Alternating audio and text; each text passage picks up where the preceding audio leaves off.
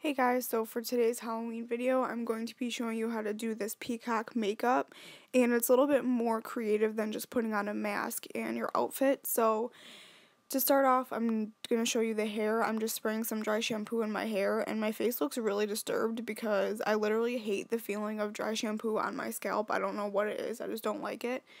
So yeah, then I'm just going to brush it out and then I'm teasing my hair. So I'm starting off with hairspray and then just teasing sections of it and then flipping it back over and making sure I smooth it all out because even though we are going to be a bird for Halloween, we don't want our hair to be too much of a rat's nest. So just continue to do that all around the back and the sides and then flip it over and smooth it out. Then I'm putting my hair all in a ponytail and taking the tail end of my comb and lifting the hair up to create more volume. Then I'm taking the ponytail and wrapping it around itself and securing it with a hair tie and then just pulling it apart, making it looser. It's kind of like the bun that I always do on top of my head, except this one is lower. And then I'm pulling some pieces around the side out because I don't like my hair all slicked back. And then I'm just bobby pinning it into place.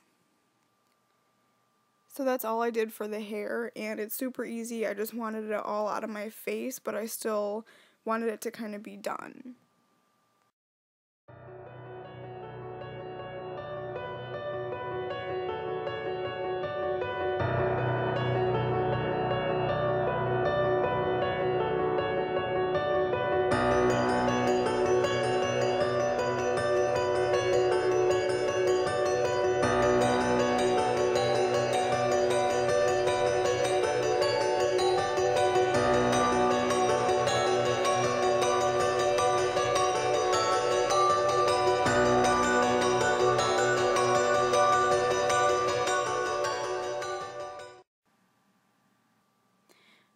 Moving on to makeup, I'm just putting on my foundation to even out my skin tone.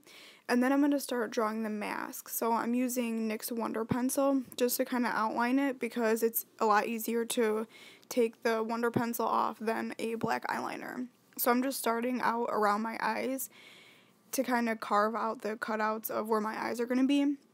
And I'm kind of making a wing, actually two wings, at the ends of my eyes and you can't really see it that well with this but once I outline it in black you'll be able to see a lot better. So I'm making the eyes more of an almond shape and then I'm just making the wings on the ends.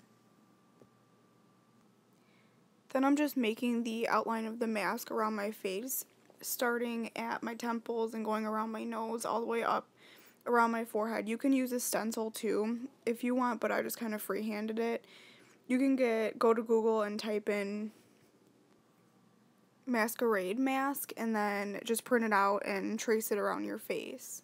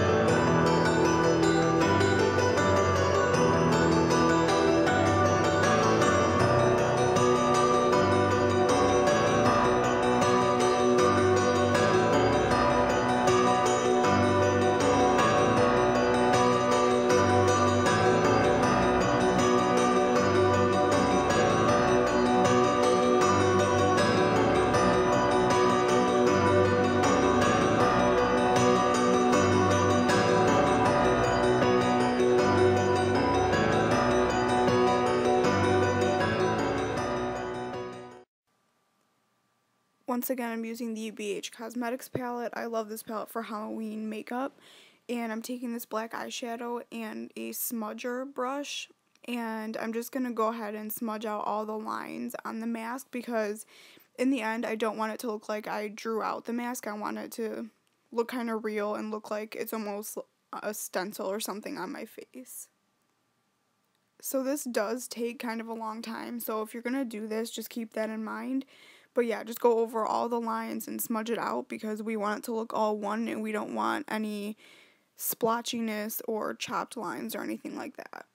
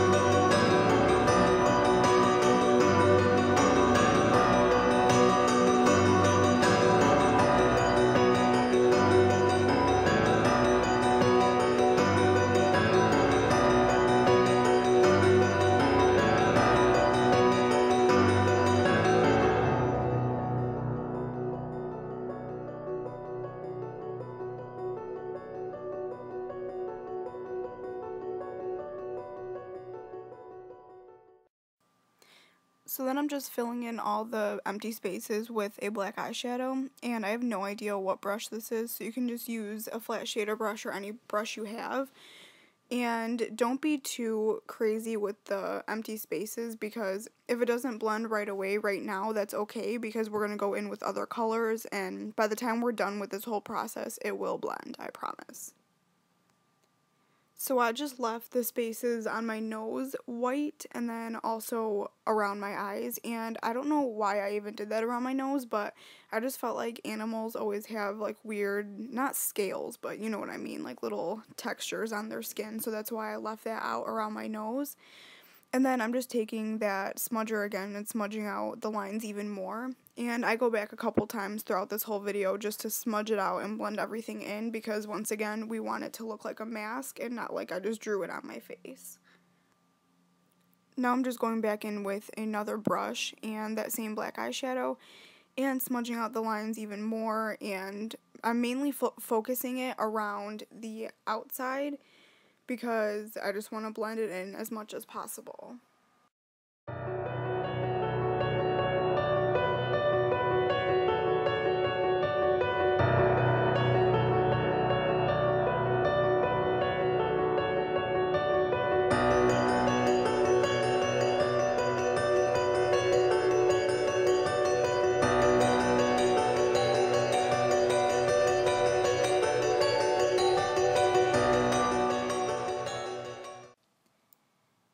Just going around all the spaces I left blank with a white eyeshadow just to brighten it up a little bit.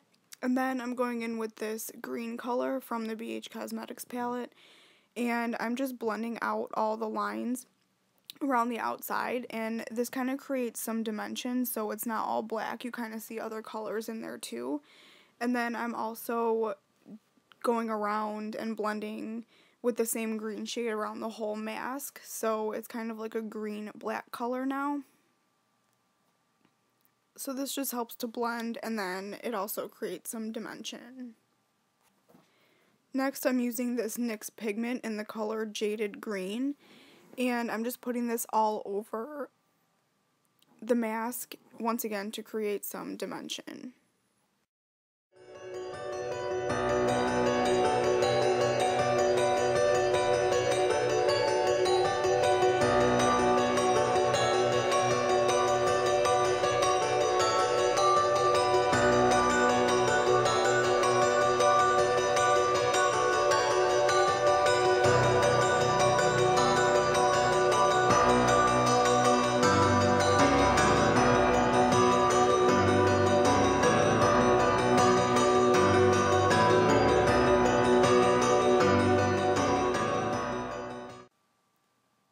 After lining my upper and lower waterline with my L'Oreal Smoldering Eye Kohl, I'm taking this teal color and smoking it up with the eyeliner on my upper and lower lash line. And I just think this is a really cool, easy, smoky eye. And then I'm taking a light brown shadow and blending out the edges a little bit more.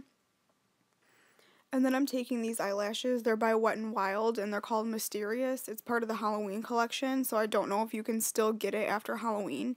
But how perfect are these eyelashes for this look? I can't even take it. There's like feathers on the ends. So then after I put on my eyelashes, I'm putting on this NYX glittery roller ball and I'm just putting all over the mask. It just creates a little bit more dimension and I think it looks really cool. And then for lips, I'm using this Tarte lip crayon. It's just a nude color. And then of course I have to take it one step further and put some blue on my lips because it wouldn't be my Halloween look without putting some eyeshadow on my lips. I don't know why, I just really like how it looks. And then I got this package of feathers. It comes with a peacock feather and then green and blue feathers from Joann Fabrics. And I'm just cutting it to kind of fit my face a little bit better. And then using eyelash glue, I'm just fanning it out across my forehead, kind of like a masquerade mask would be. And I'm just sticking it to my face.